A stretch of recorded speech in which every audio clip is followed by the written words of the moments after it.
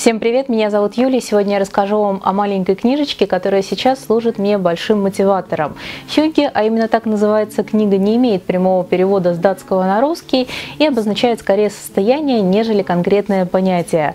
Хюги можно перевести как состояние счастья, покоя, домашнего уюта. В общем, это то душевное состояние, когда вам хорошо. Вот, например, вечером вы сидите с чашкой чая, с интересной книгой, в комфортном кресле. Примерно это состояние датчане называют называют словом хюгги. Вообще мне очень нравятся скандинавские народы, их образ мысли, который находит отражение в их языках.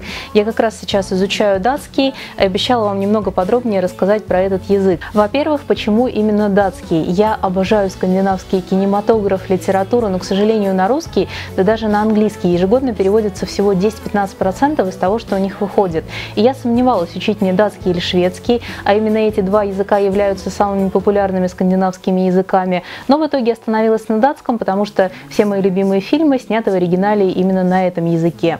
И когда я проходила собеседование в языковой школе, мне тренер сказала, что э, в принципе у меня проблем в изучении этого языка возникать не должно, потому что я активно учу английский, имею представление о финском, и когда э, учишь несколько языков, то дальнейшее учить гораздо проще. Но ничего подобного. Датский действительно сложный язык, причем он сложен э, как для восприятия, очень сливаются у них слова, согласные гласные очень мягкие, при этом делаются упор на гласные. Для русского уха это очень непривычно. Невероятно важна интонация, то есть необходимо слышать слова именно в контексте, иначе вы рискуете попасть в какую-нибудь глупую ситуацию. По звучанию же датский мне напоминает мягкий вариант немецкого. И, возможно, если вы знаете или учите немецкий, то датский будет даваться вам гораздо проще. Я под видео оставлю ссылку на песню а, «Отпусти и забудь» из мультфильма «Холодное сердце» на датском. Она звучит как «Ледецки». Советую посмотреть, и там датский язык звучит ну, очень красиво. При всем при этом я считаю, что у датчан действительно есть чему поучиться не только в бытовых вопросах, но и в вопросе отношения к собственному родному языку.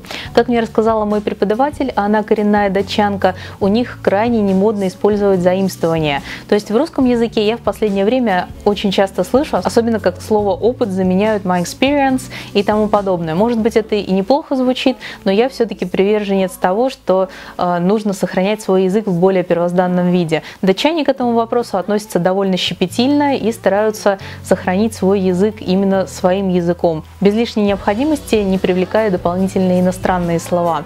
Но в вопросах датского быта, их отношения к жизни, их жизненной философии нам поможет разобраться Майк Викинг и его секрет датского счастья. После ее прочтения вы точно научитесь создавать вокруг себя атмосферу уюта, и главное, вам захочется ее создавать. Итак, датчане выделяют несколько основных этапов создания хюгге. Во-первых, это свет. Чем больше местных источников освещения, тем лучше. Свечи, гирлянды, торшеры – все это создает расслабленную и комфортную атмосферу. Во-вторых, не бойтесь обустраивать интерьер вокруг себя согласно именно своим предпочтениям, а не моде. Если вам нравится хранить миллион фотографий на пробковой доске, то на здоровье. Я переделала свое рабочее место согласно данному определению и скажу, что проводить время за рабочим столом стало гораздо приятнее. В-третьих, домашняя одежда. Она должна быть максимально комфортной. Пижамные штаны, теплые носки, нелепые свитера в атмосфере хюги никто за это осуждать не будет.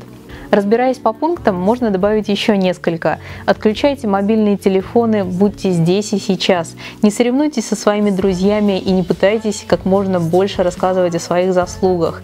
И, наконец, мое любимое – никаких разговоров о политике. Оставьте это для деловых переговоров. Причем в книге прекрасно сочетаются и полезный текст, и красивые фотографии и инфографики. Это поистине скандинавское искусство – сочетать строго упорядоченную информацию и уютное прекрасное оформление. Я очень советую приобрести эту книгу именно в печатном варианте, потому что она приносит удовольствие, даже когда просто держишь ее в руках.